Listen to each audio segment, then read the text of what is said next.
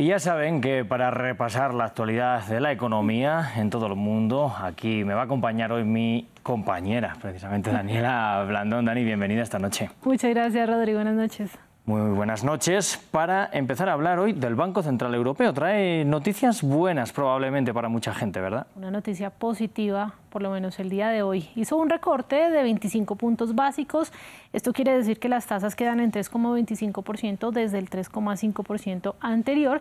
Y aunque el Banco Central no dio nuevas pistas sobre su próximo movimiento, ya se habla de que sus decisiones podrían estar relacionadas con un lento crecimiento en la región europea con Alemania al borde de la recesión, ya que un menor costo de endeudamiento les permite a los europeos gastar más y animar la economía en general. Además, contrario a la producción económica, el banco cree que la inflación está en un nivel deseable para los 20 países que comparten el euro como moneda. En septiembre, el índice de precios general subió 1,7%, la meta es del 2%. Las tasas altas lo que hacen es comprometer el crecimiento para que los precios se estabilicen y para el Banco Central esa tarea ya surtió efecto. En particular, la decisión de reducir la tasa se basa en nuestra evaluación estatal actualizada de las perspectivas de inflación, la dinámica de la inflación subyacente y la fuerza de la transmisión de la política monetaria. Diría que estamos preocupados por el crecimiento en la medida en que tiene un impacto en la inflación y tenemos que estar particularmente atentos a ambos. Pero uno por el impacto que tiene en la inflación, que es nuestro enfoque principal y nuestro objetivo clave, como saben. Rodri, para decir que el del Banco Central Europeo es el tercer recorte este año y lo consolida como el del G7 con más bajas de tasas en 2024, mientras se cree que la Reserva Federal de Estados Unidos pueda realizar un segundo recorte en noviembre. El Banco Central de Canadá también se ha aventurado en reducir sus tipos de interés y Japón es el que va en contra de toda esta corriente y este año se lanzó a subirlas por primera vez en 17 años por temores de una deflación. Bueno, Dani, vamos a seguir hablando también de economía mundial porque el Fondo Monetario Internacional y el Banco Mundial se preparan ya para su reunión de otoño. ¿Qué es lo que se espera? Pues se va a llevar a cabo la próxima semana en Washington, un encuentro al que se llega con previsiones poco halagüeñas para la economía mundial. A pesar de las buenas noticias, no esperen fiestas de la victoria la semana que viene por al menos tres razones. En primer lugar, las tasas de inflación pueden estar cayendo, pero el nivel de precios más alto que todos sentimos en nuestros bolsillos llegó para quedarse. Todos estamos muy preocupados por la expansión del conflicto en Medio Oriente y su potencial para desestabilizar las economías de la región y los mercados mundiales de petróleo y gas, y el comercio no será el mismo motor de crecimiento que antes.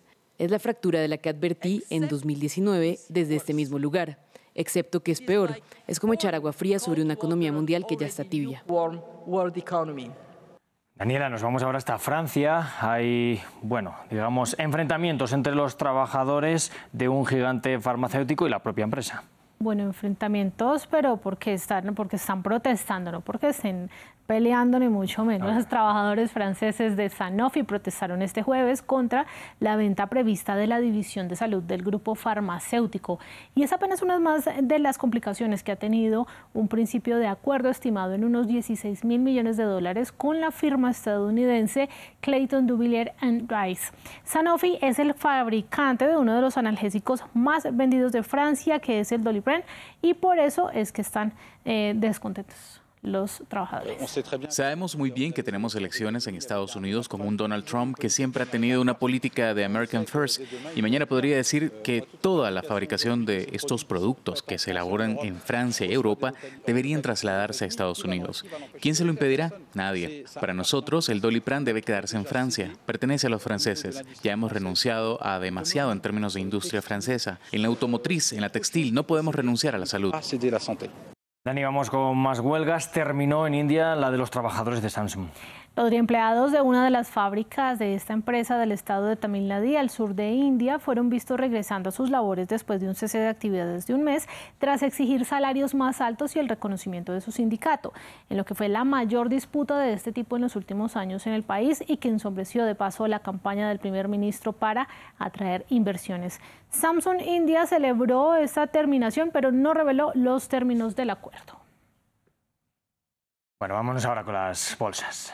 El índice Dow Jones de Industriales marcó un nuevo récord histórico, el cuarto en las últimas cinco sesiones, después de que se conocieran cifras que dan cuenta de un sólido mercado de consumo en Estados Unidos. Y vamos a, hacer, a poner el foco en Netflix porque sus acciones subían casi un 5%, pasando los 720 dólares en las operaciones posteriores al cierre de campana, después de un informe de resultados en el que reveló que ganó un poco más de 5 millones de suscriptores en el tercer trimestre, superando las estimaciones de Wall Street y espera más clientes en los próximos meses. Bueno, y para cerrar la cifra del día, que creo que es abultada. Claro, y deportiva. 170 mil millones de dólares. Esa es la fortuna de Bernard Arnault y su familia, según la revista Forbes. Su hijo Antoine, el multimillonario francés y presidente de la casa matriz de firmas como Louis Vuitton y Dior, se asoció con la empresa de bebidas energéticas Red Bull para comprar una participación mayoritaria en el club de fútbol de segunda división francés Paris FC, en lo que sería su más reciente incursión en los deportes. Ellos ya firmaron un acuerdo de patrocinio con la Fórmula 1 y patrocinaron los Juegos Olímpicos de París pues interesante esa cifra, Dani. Muchísimas gracias por este repaso económico. Nos vemos acá en una próxima oportunidad, Rodri. Nos veremos con más. También a ustedes les vemos enseguida que volvemos con más programación.